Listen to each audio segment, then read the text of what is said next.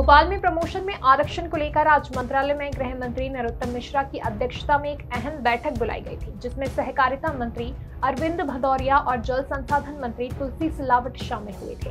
हालाँकि अब बैठक दोबारा मंगलवार को 8 तारीख तक बढ़ा दी गई है। बैठक के बाद मंत्री अरविंद भदौरिया और तुलसी सिलावट अरविंद भदौरिया के निवास पहुँचे। हालाँकि इस बैठक को दोनों ही नेताओं ने औपचारिक बैठक बताया है। बैठक के बारे में सहकारिता मंत्री अरविंद भदौरिया ने बताया कि बैठक आयोजित की गई थी, जिसमें सभी मुद्दों पर लगभग 90 प्रतिशत सहमति बन चुकी है। आज महत्वपूर्ण बैठक थी। माननीय सिलावट साहब, नरोत्तम मिश्रा जी, गृह मंत्री जी, अमरिंदर सिंह परमार साहब और मैं और विजय शाह जी अभी थी नहीं लद्दाख के ऐसे पाँच लोग उसमें अध्यक्ष हमारे गृह मंत्री महोदय हैं। तो लगातार हम सभी से संवाद कर रहे हैं, क्योंकि सरकार की मंशा स्पष्ट है।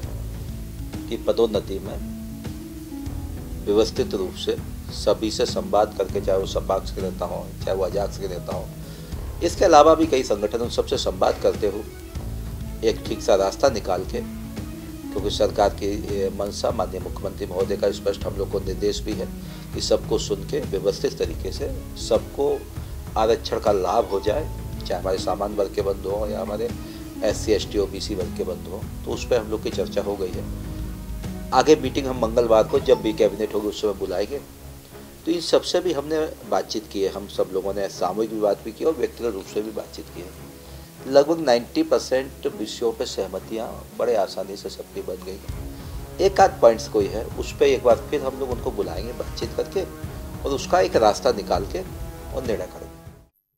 वीडियो को लाइक और शेयर करें। मृदुभाषी से जुड़े रहने के लिए चैनल को सब्सक्राइब करें और खबरों के नोटिफिकेशन के लिए बेल आइकन दबाना ना भूलें।